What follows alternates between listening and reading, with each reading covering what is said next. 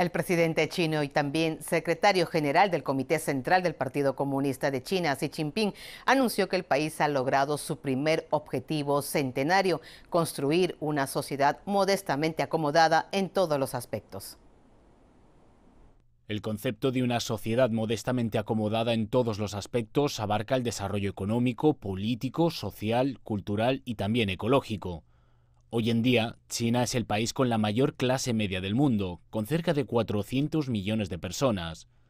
China también ha aumentado significativamente el nivel educativo de toda su población.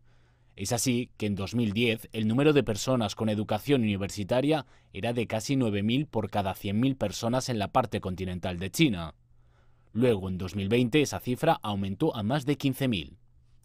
Asimismo, el país ocupó la 85 posición en el Índice de Desarrollo Humano de las Naciones Unidas de 2018.